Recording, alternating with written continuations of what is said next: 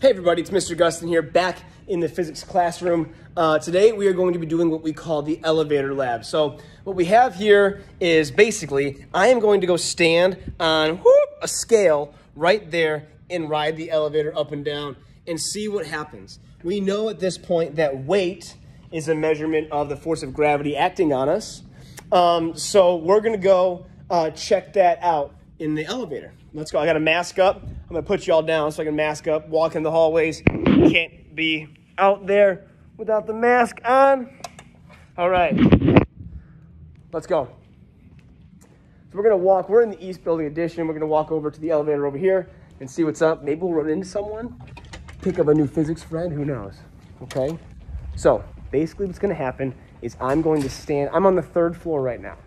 So I'm gonna stand on my scale right here and ride the elevator down. So I'll start at the top and I'm gonna ride it down to the first floor. The doors will open up and then I'm gonna ride this thing back all the way up. So we'll get both motions on the way down and on the way up. We'll see if this thing's here.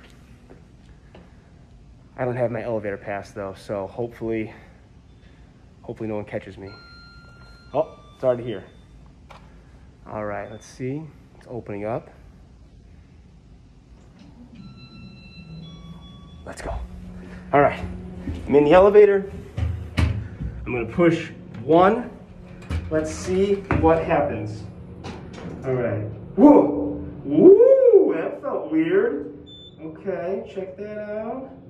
Weird, weird. Hmm, back down to floor one. Whoa. Okay. Hmm. Let's go back up to three. So now we're starting here at the ground. We're gonna go back up. Let's watch what happens to the scale reading. Whoa! Are you kidding me? Did you see the scale? I just gained 20 pounds. Hmm, what's happening? What's happening? Hmm, whoa! I just lost 20 pounds. Are you kidding me? Did you all just see that?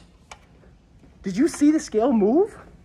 When I started at the ground and came up, I went from 179 pounds to almost 200 pounds.